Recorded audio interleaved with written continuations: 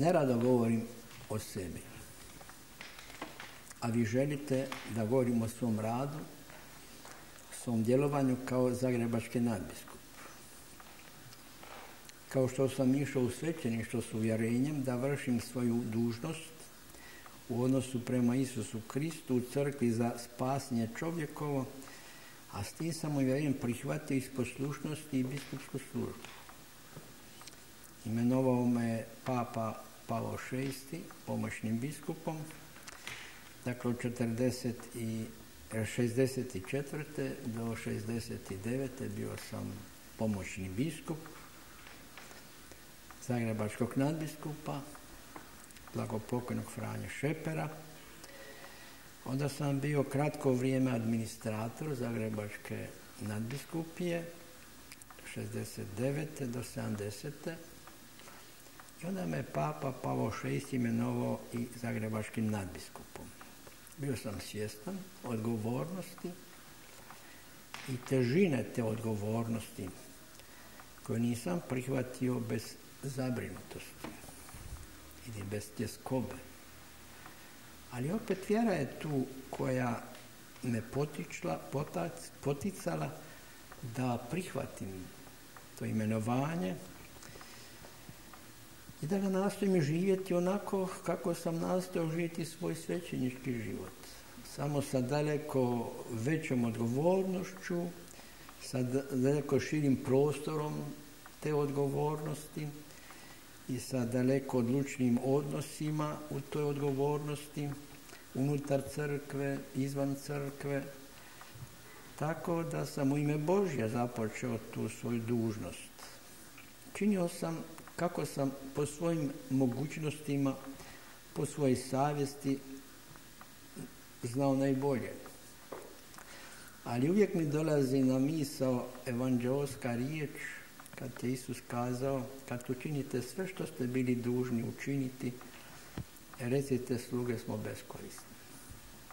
To znači, u toj duhovnoj službi, u duhovnom poslanju je prisutna milost, prisutna je pomoć Božja, prisutan je duh sveti koji nadahnje, koji unutar samog čovjeka i savjetuje i rasvjetljuje i potiče. Dakle, što smo god činili, ako smo nešto dobro činili, čini smo s Božjom pomoću, s Božjom milosti. Osim toga, nadbiskup sam ne može puno učiniti.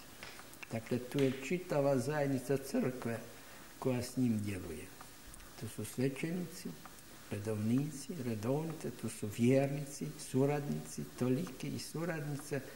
Svi oni nose odgovornost crkve kada žive svoje poslanje, svoje kršćansko poslanje, svećeničko, redovničko, dosljedno i vjerno svi su oni onda zajedno s biskupom suradnici u navješćem kraljevstva Božjega i u prisutnju crkvu, u život svijeta u život naroda s njezinim poslanjem. Dakle, nisam bio sam.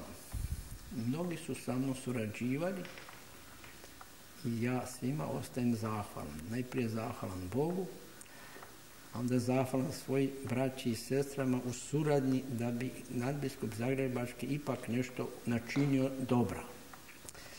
Za crkvu dobra, za narod dobra za čovjeka.